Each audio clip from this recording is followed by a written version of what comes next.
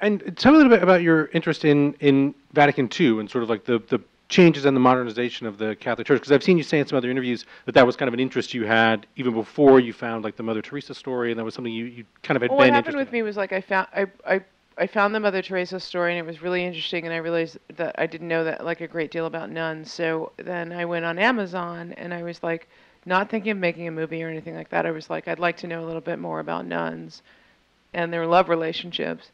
And um, there's a like small but like rich canon of memoirs of ex nuns um, that started in like the 80s through the 90s, like women who had been 20 years out of Vatican II, and they're all um, they're all consumed with like two subjects, and the two subjects are their time in the novitiate and the impact of Vatican II.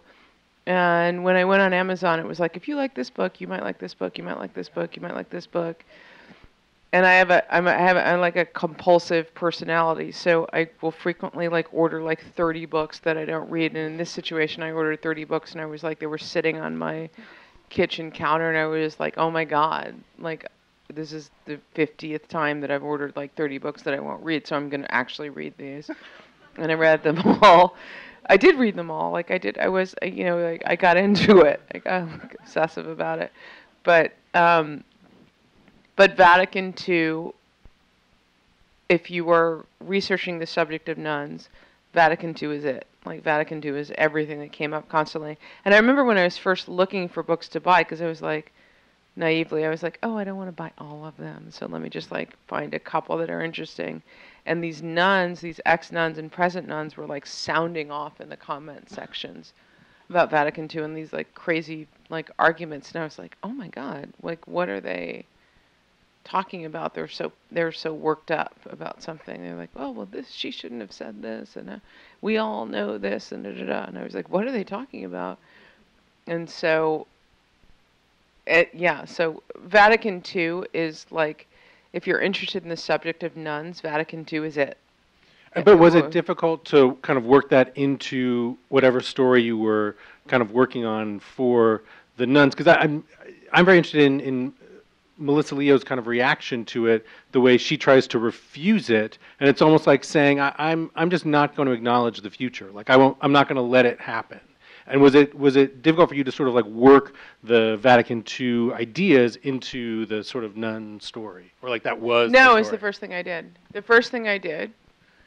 The first thing I did was I spent like a couple weeks writing a stream of consciousness in the um, head and voice, like for no reason. I didn't think I was going to make a movie. I just I'd read the Mother Teresa stuff, and I was really interested in the idea of like a woman getting a divorce, a woman in a, divo- in a divorce situation. I had, I had friends who were getting divorces, and they were like so crippling and like so awful, and like they felt such a feeling of failure. And so it was like about this woman who's like in her 50s. It was like this kind of like diary entries of this woman who's in her 50s, and her man, God is like leaving, her husband is leaving, and um, it was just like writing like like from someone else's voice and she's like falling apart and the biggest problem or one of the biggest problems is the fact that like she has to go in front of this whole convent and be the voice of God who's her husband but her husband's like out the door so it was kind of like it was kind of like a story about divorce. The first thing I wrote was like a story about divorce because I just had a bunch of girlfriends that were getting divorced at the time that I was writing it. And it was like a story about divorce and a weird sense of failure that seemed we uh, inappropriate to me because I, I, I didn't think my friends deserved to feel the sense of failure about it. But she's feeling the sense of failure, but at the same time she has to go in front of these other girls. Like people have to kind of, you know, whatever, and like say like, you know, God told me that, you know, I'm the voice of God, blah, blah, blah. And it's mean, like, in her, the back of her mind, she's like, my man is not present. So my relationship is not real. So